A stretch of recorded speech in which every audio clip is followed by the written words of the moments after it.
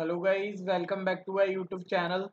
So in today's video we will see that uh, even though we are not using cvt color function in our whole uh, python program then also we are getting this error that minus 215 assertion failed source empty and cvt color error.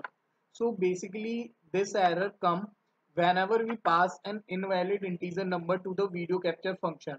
Like guys if i will pass it 0 and if I will run this program so here you can see that my camera is switched on. This means uh, the video capture function is working properly. But if I will stop this program and if I will pass some uh, random integer number suppose like 4 or 5 and now I will run the program then you can see that we have got the error uh, the same error that I showed you earlier.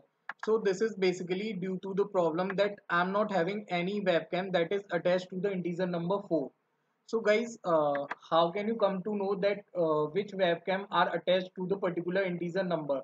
Like uh, my first webcam uh, is attached to the 0 number and uh, some people uh, say that their first webcam is attached to the minus 1 number.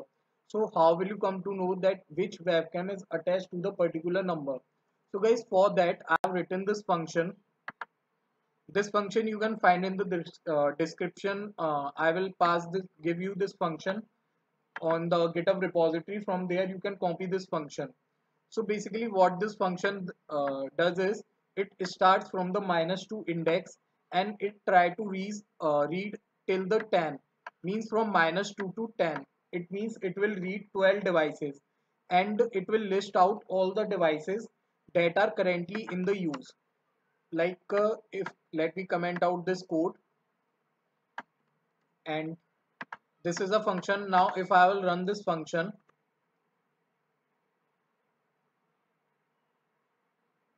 So here you can see that at the last I got output 0 and 2 so this means I am having two webcams that are active on this particular integer number. That is 0 and 2 so guys from this function you can come to know that which are the integer numbers that you can use in your video capture function.